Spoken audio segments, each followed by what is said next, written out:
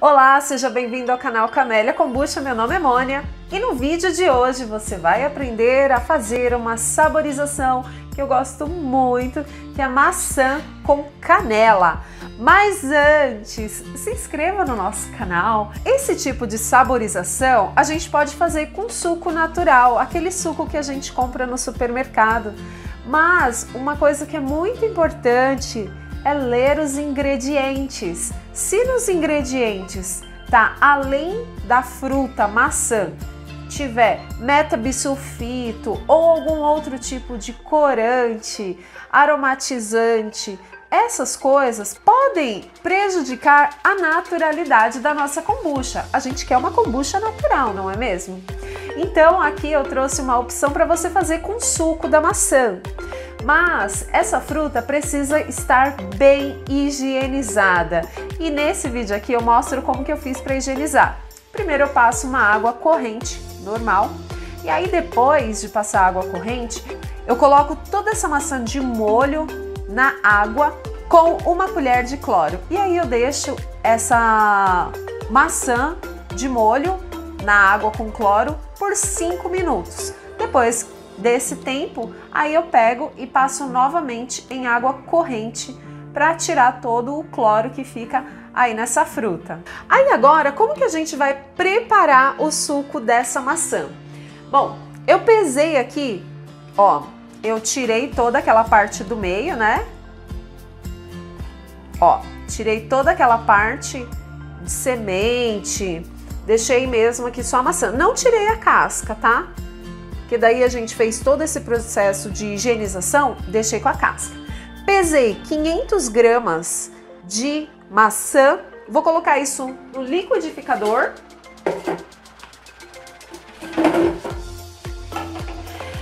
E tô aqui com uma F1, que gente do céu, olha isso. É a perfeição, fala sério.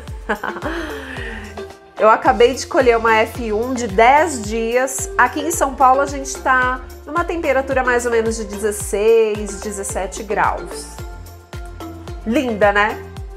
Então eu tenho aqui 500 ml de F1. Agora eu coloco tudo isso para bater.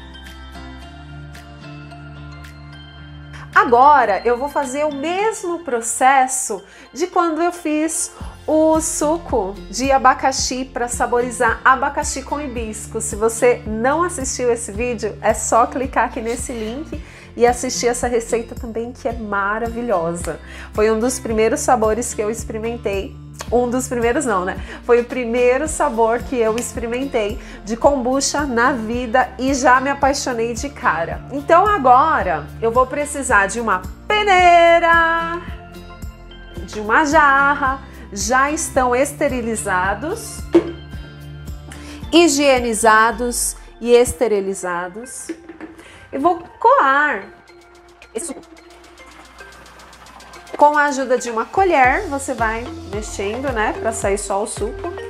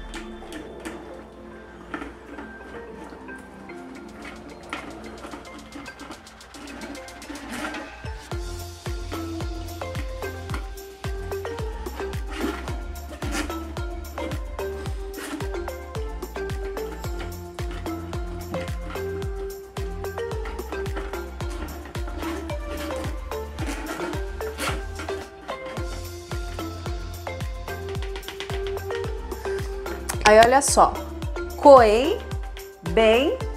Agora, se eu for usar esse suco, ele ainda tá grosso. Então o que, que eu faço? Se você tiver aquela peneira de cervejeiro, maravilha. Como eu não tenho, aí eu vou passar por esse outro tipo de peneira que eu já esterilizei. Vamos tentar não fazer bagunça, tá? Ah, olha lá.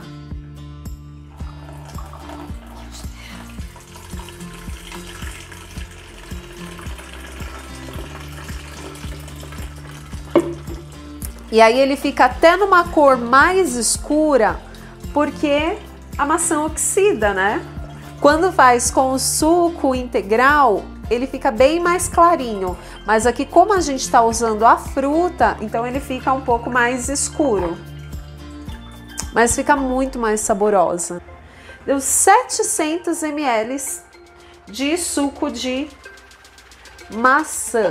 Eu vou usar então 2 litros e 800 de kombucha. Ah, já curtiu esse vídeo? Se não curtiu ainda, já deixa seu like. Tadã! Eu peguei 2 litros e 800 de kombucha F1 também de 10 dias. Aí agora eu vou misturar o suco de maçã. Olha só a cor que vai ficar. Que maravilha, hein?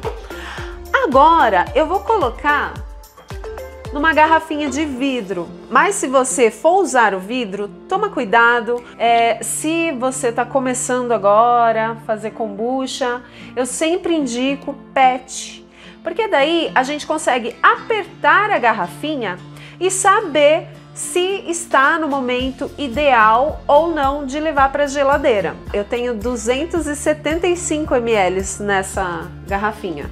Mais um pouquinho. E agora é só tampar essa garrafinha e esperar 5 dias ou esperar até a garrafinha PET ficar durinha para a gente tomar essa delícia.